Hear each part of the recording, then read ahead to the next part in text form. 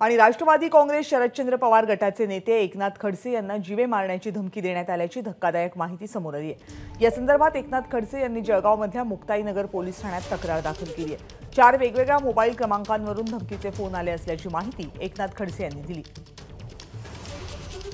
असं वाटत नाही. याचा काही राजकीय संपर्क संबंध असेल असंही मला वाटत नाही. पण चौकशी पोलीस करता आहे त्यामुळे याच्या माध्यमातून काय तथ्य आहे ते बाहेर येईल.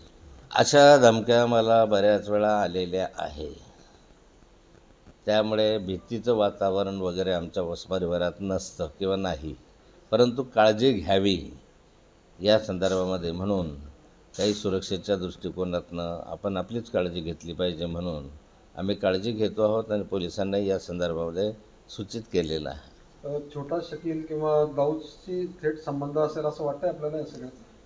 मला नाही वाटत ते छोटा शकील आणि दाऊद ह्या अशा फालतू कामामध्ये पडत नाही. एबीपी माझा. उघडा डोळे बघा नीट.